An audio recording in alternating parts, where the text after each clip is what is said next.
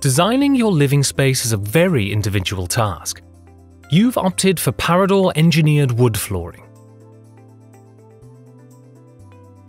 For easy installation, you need the right tools.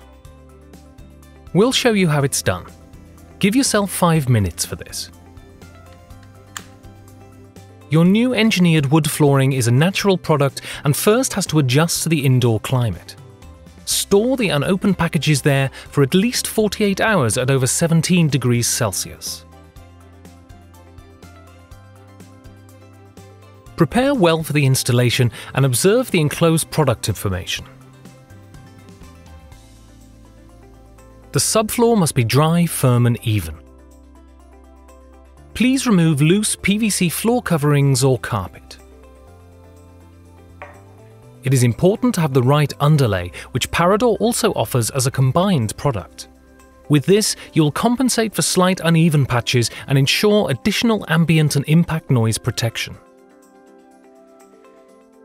Lay the planks parallel to the incident of light and start on the side of the light source if possible. Measure the width of the room and work out the first and last plank. The first row of planks will be adjusted for this. In this way, you will get an appealing design.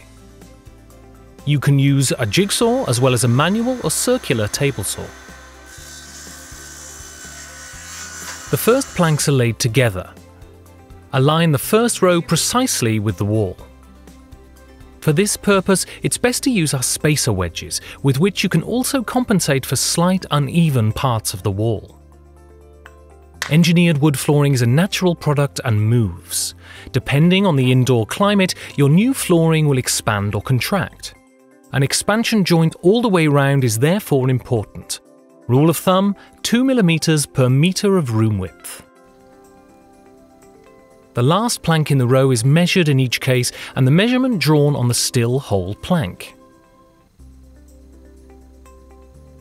Or you can turn the whole plank round and thereby transfer the right measurement. Attention, bear in mind the expansion joint here too. The cut-off piece is used directly again at the start of the next row. For long-lasting strength and an optically attractive overall appearance, the joint should be offset by at least 40 centimeters. On the long side, simply click the planks into each other.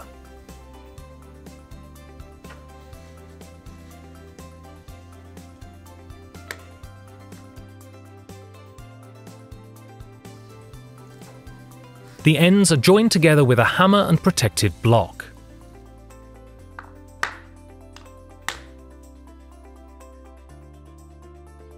Make sure that the joints are correctly locked and hit them again if necessary with the protective block. We call that the setting blow. Tip for continuing the installation process. Colour and texture differ in the case of natural products, therefore mix the planks from several packs. The steps are repeated across the whole area and soon become routine.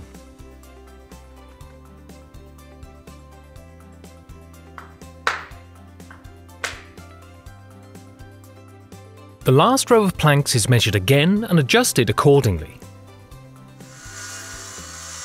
Bear in mind the expansion joint here too. Done! Radiator pipes running through the floor should firstly be transferred to the plank. Drill the holes 10mm bigger and saw diagonally to the wall. Put the piece cut out back with some glue. To finish, you can use pipe covering. Where necessary, simply shorten the door frames too. To achieve the right height, use a leftover piece as an underlay and a sharp saw. Here you can't lift the plank as usual, which is why you remove the snap-in tongue. Push the plank under the frame and use some glue here too. It fits. An expansion joint is necessary in indoor transitions too. For covering purposes, fit appropriate profiles. To summarise briefly. Plan two days for the acclimatisation. Select the right underlay, Prepare tools and aids.